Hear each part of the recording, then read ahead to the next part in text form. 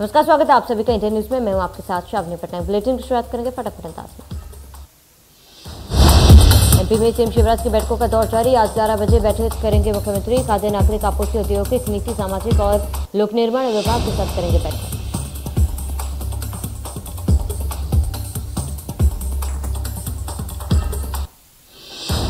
PM Modi आज पंजाब के फिरोजपुर में जनसभा को करेंगे संबोधित। यहाँ पीएम करोड़ों रुपए की देंगे सौगात।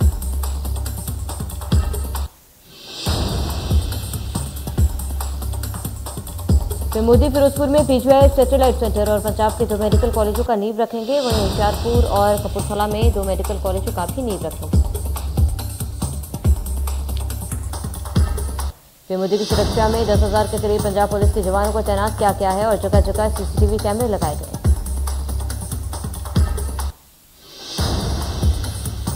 बीस साल के इतिहास में प्रधानमंत्री चौथी बार फिरोजपुर पहुँच रहे हैं। कृषि कानूनों के वापस ले जाने के बाद यह उनकी पहली यात्रा होगी।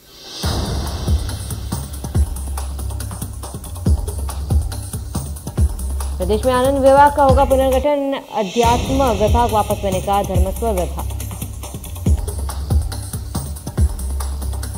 प्रदेश में मनाया जाएगा आनंद उत्सव, चौदह से अठारह जनवरी तक आनंद उत्सव का आयोजन। बीजेपी की बूथ विस्तारक योजना आज से शुरू होगी, बूथ विस्तारक योजना कार्यशालाएँ बीजेपी का आधार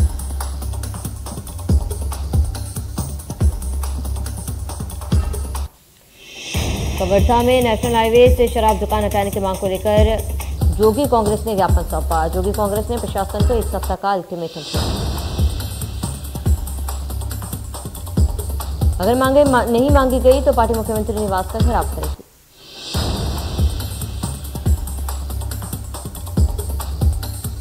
खंडवा में बाघिन की दस्तक से हड़कम मचा बताया जा रहा है कि किसानों ने तेजुआ समझकर बाघिन का वीडियो बनाया था।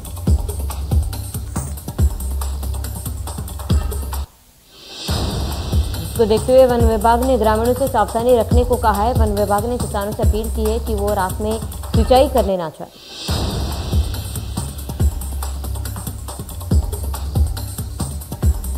विदिशा ज़िले को पूरी तरह नशा मुक्त करने के लिए मुख्यमंत्री शिवराज सिंह चौहान के निर्देश पर पुलिस प्रशासन द्वारा नशीले पदार्थ बेचने वालों पर लगातार कार्रवाई की जा रही है। बता दें पुलिस ने नशा मुक्ति का संदेश देते हुए पेंटिंग प्रतियोगिता आयोजित की है, जिसमें स्कूली विद्यार्थियों ने हिस्सा लेकर नशे के दुष्परिणाम बताते हुए पेंटिंग उकेरी और लोगों को जागरूक किया। इस मौके पर पुलिस अधिकारी और विद्यार्थियों ने कहा कि हमारा उद्देश्य पेंटिंग के माध्यम से लोगों को नशे से होने वाले दुष्परिणाम के प्रति जागरूक करना है। अशोकनगर में राजमाता चौराहे के पास बाईपास रोड पर स्थित श्री राम एनक्लेव के बेसमेंट में सोनालिका चक्र के पास रूम में अचानक आग लग गई।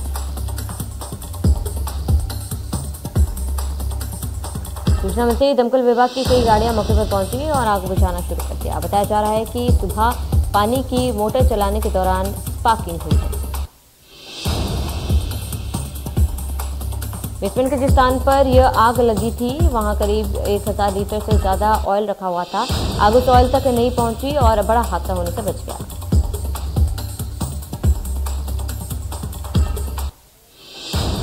आधार कार्ड के आधार पर हरियाणा से दमोह पहुँचा बच्चा वापस अपने माता पिता के पास जा सका। बताया जा रहा है कि विनित नाम का ग्यारह साल का बच्चा भटक कर दमोह आ गया था।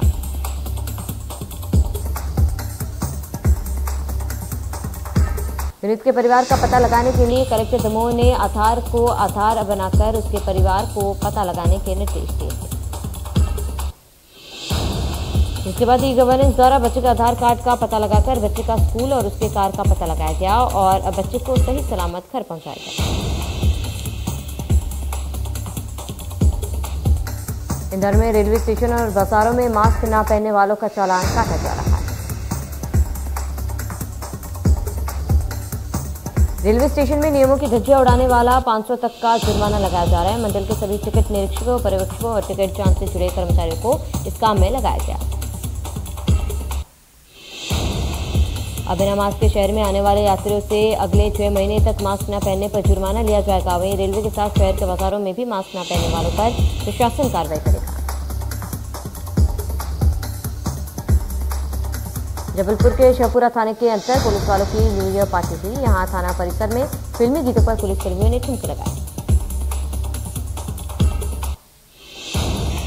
अब जनता के लिए लगे लॉकडाउन के बीच पुलिस वालों की मस्ती ने सवाल खड़े कर दिए। दो बजे रात तक पार्टी करने वीडियो वायरल होने के बाद अब पुलिस पर सवाल उठ। रहे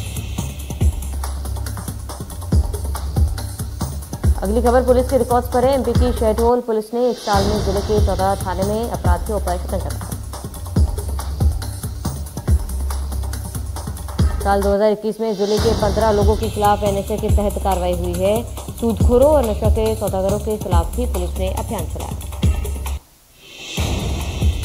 अब पुलिस का संकल्प है कि साल 2022 में ज़िले में नशे को जड़ से उखाड़ फेंकना है।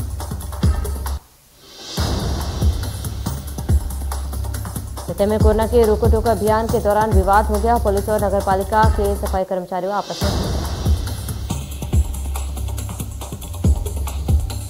नगरपालिका कर्मचारी का आरोप है कि शहर के राजगढ़ चौराहे में अभियान के दौरान पीआई ने सफ़ाई कर्मियों को बेवजह थप्पड़ कर दिया। जबकि वो ड्यूटी पर था और उसने मास्क भी पहना था, अब इसी बात से नाराज़ सफ़ाई कर्मियों ने विरोध किया और मामले में कार्रवाई न होने पर शहर में सफ़ाई व्यवस्था करने की चेतावनी दी। ग्वालियर में अपनी पत्नी से परेशान होकर एक पति थाने पहुँच गया। पति ने एसपी से न्याय की मांग की।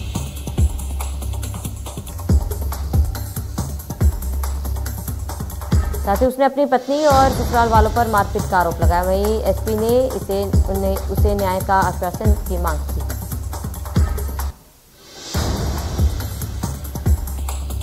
जबलपुर के सिहोरा में चार लाख चौरासी हज़ार की लूट से सनसनी फैल गई। यहाँ पैसे जमा करने पर कर्मचारी बैंक जा रहा था।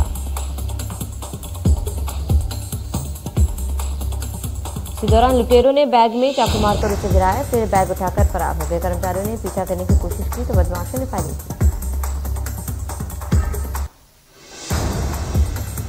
लगातार सवालों के घेरे में रहे कांकेर के मेले को मंगलवार को बंद करा दिया गया। मंगलवार को कांकेर के ऐतिहासिक मेला को बंद करवाने पुलिस और प्रशासन की टीम पहुँची थी। रविवार को ही ये मेला शुरू हुआ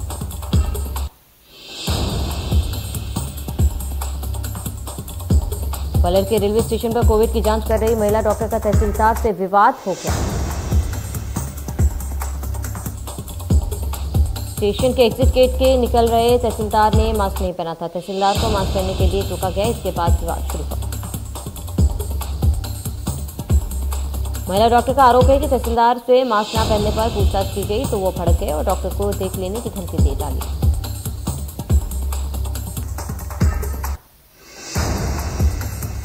ग्वालियर की थाटीपुर थाना पुलिस ने नदीपार टाल इलाके से 20 लाख रुपए की स्मैक के साथ चार लोगों को गिरफ़्तार किया। ये लोग उत्तर प्रदेश से स्मैक की इस खेप को लाकर ग्वालियर में छोटे तस्करों को सप्लाई करते थे। दिसंबर की दो बड़ी कार्रवाइयों के बाद जनवरी में ये पहली बड़ी कार्रवाई है पुलिस ने कुल 200 ग्राम स्मैक बरामद की।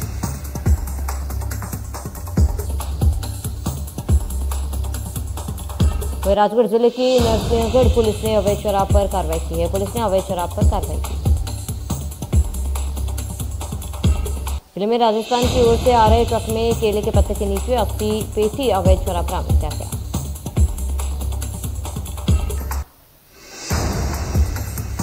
कटनी के बौरीबंद कैंप में प्राइवेट कंपनी के सर्व करने वाले ने बड़े स्तर पर किसानों के धान को रिजेक्ट कर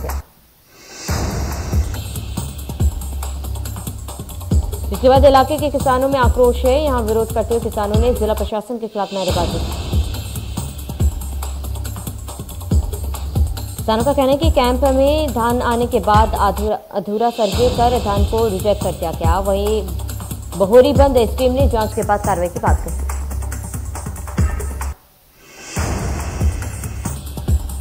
सागर में चार करोड़ तिरासी लाख में बना सरकारी भवन छह महीने में क्षतिग्रस्त हुआ। कलेक्ट्रेट भवन में बने ईवीएम वेयर हाउस भवन की हालत अब खराब है। भवन में जगह जगह दिखी। दरारों ने यहाँ भ्रष्टाचार की पोल साल 2018 में शुरू हुआ। भवन का काम 2021 में पूरा हुआ और अभी से इस भवन में दरारें आने लगी।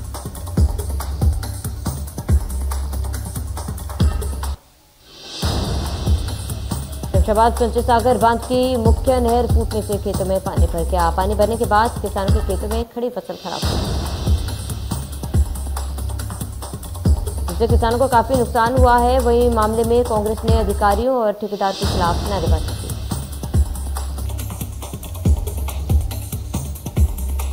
युवा कांग्रेस ने गुरिया गाँव पहुंचकर नहर की घटिया मरम्मत का आरोप लगाया, साथ ही कलेक्टर से मामले पर कार्रवाई की मांग की।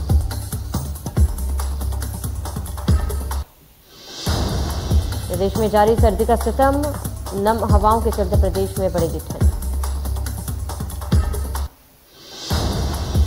भोपाल, इंदौर समेत सभी जगहों पर बारिश की संभावना लोग ले रहे हैं अलाव का सहारा।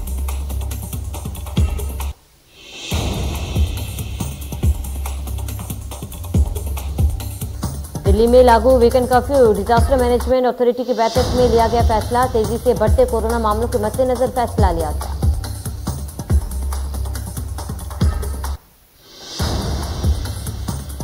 देश में 15 से 18 साल के बच्चों का कोरोना वैक्सीनेशन शुरू हो चुका है। आज बच्चों के वैक्सीनेशन का तीसरा दिन, सोमवार को पहले दिन करीब 40 लाख बच्चों को कोरोना का टीका दिया गया था। कैथल ज़िले में 15 से 18 वर्ष तक के किशोरों को लगाई जा रही है कोरोना की वैक्सीन। कैथल उपायुक्त डॉक्टर प्रदीप दहिया ने सभी सरकारी कार्यालयों में नो वैक्सीनेशन, नो एंट्री के आदेश जारी किए। दिल्ली में बीस हज़ार से ज़्यादा बच्चों को वैक्सीन की पहली डोज मिली और मुंबई में पाँच हज़ार नौ सौ सत्तानवे बच्चों को कोरोना का पहला टीका।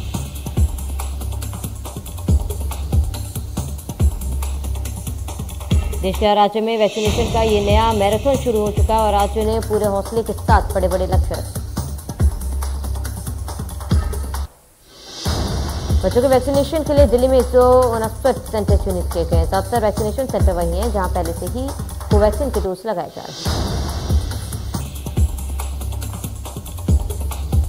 देश में कोरोना की डरावनी रफ्तार चौबीस घंटे में अट्ठावन हज़ार सत्तानवे मामलों की पुष्टि।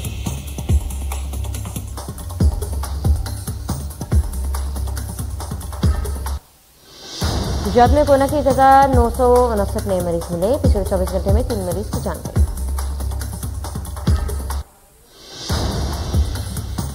दिल्ली में पिछले 24 घंटों में 5,500 केस सामने आए एक दिन में तीन लोगों की मौत।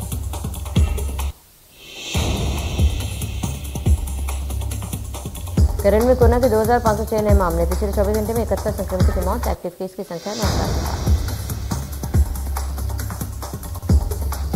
पश्चिम बंगाल में पिछले 24 घंटे में कोरोना के छह हज़ार अठहत्तर नए मामले आए सामने इसके साथ ही कोरोना नियमों के खिलाफ प्रशासन सक्रिय पंजाब में कोरोना संक्रमण के चार सौ चौदह नए केस तीन मरीज़ की कोरोना से हुई हरियाणा में 24 घंटे में कोरोना के सात सौ तिरानवे नए मामले, एक दिन में एक मरीज़ की मौत। कोरोना को लेकर रेल मंडल सख्त लापरवाही करने वालों पर की गई कार्रवाई, छब्बीस सौ रेल यात्रियों से वसूला तीन लाख रुपए। बिना मास्क से ट्रेन और प्लेटफॉर्म पर थे यात्री, अप्रैल से दिसंबर 2021 के बीच की गई कार्रवाई।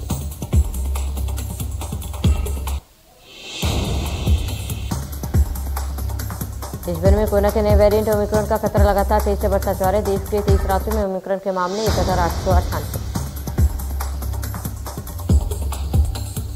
दिल्ली में एक दिन में ओमिक्रॉन के सत्तावन नए केस आए सामने। एक इसके साथ ही दिल्ली में ओमिक्रॉन के कुल चार सौ चौसठ मामले हो। गए राजस्थान में ओमिक्रॉन के 120 मामले आए सामने, वहीं छियासी मरीज़ रिकवर।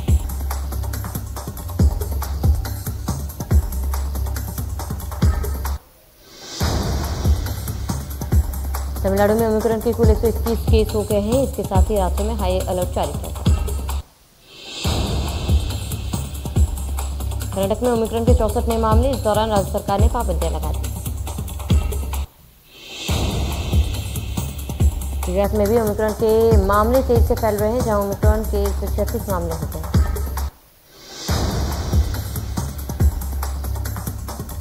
में अब तक ओमिक्रॉन के कुल सड़सठ केस मिल चुके हैं, जिसके बाद में सरकार ने प्रदेश में पाबंदियाँ बढ़ा दी।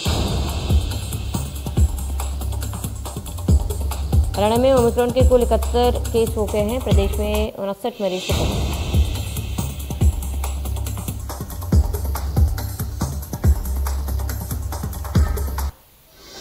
कोरोना, करनाल में कोरोना का कहर देखा जा रहा है, एक दिन में तैंतीस कोरोना पॉजिटिव केस मिलने से ज़िले में हड़का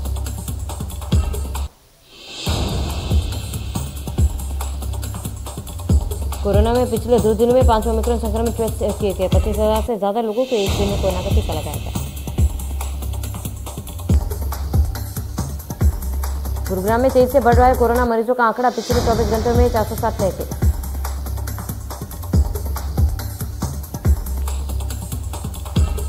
फरीदाबाद में पिछले चौबीस घंटे में एक सौ इकतालीस नए कोरोना मरीज़, चार मरीजों को ठीक होने पर घर भेजा गया।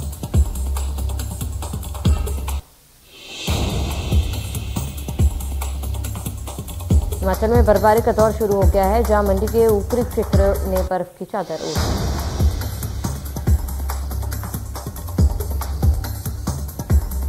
मौसम विभाग ने मंडी में 5 जनवरी तक भारी बारिश और बर्फबारी का अलर्ट जारी किया। इस दौरान जिला प्रशासन ने येलो अलर्ट जारी किया। मौसम विभाग ने ज़िले में 7 जनवरी तक मौसम खराब रहने का अनुमान जताया।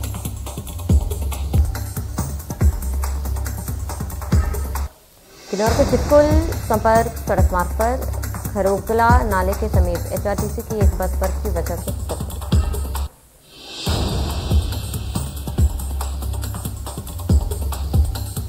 फिसल ठंड में जहाँ चीन ने पूर्वी लद्दाख में और एलसी के पार लगभग साठ हज़ार सैनिक जमा कर रखे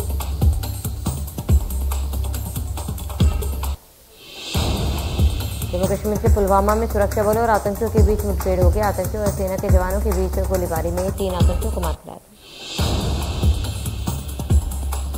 इस दौरान आतंकियों से भारी मात्रा में हथियार भी बरामद हुआ। इलाके में सुरक्षा बलों का सर्च ऑपरेशन जारी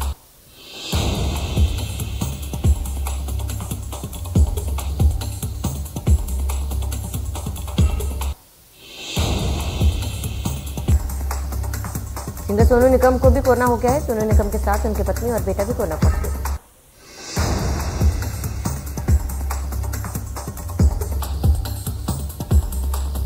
सोनू निगम ने अपने इंस्टाग्राम हैंडल पर अपने कोविड पॉजिटिव होने की जानकारी दी। सोनू निगम ने बताया कि उनका बेटा और पत्नी भी पॉजिटिव है।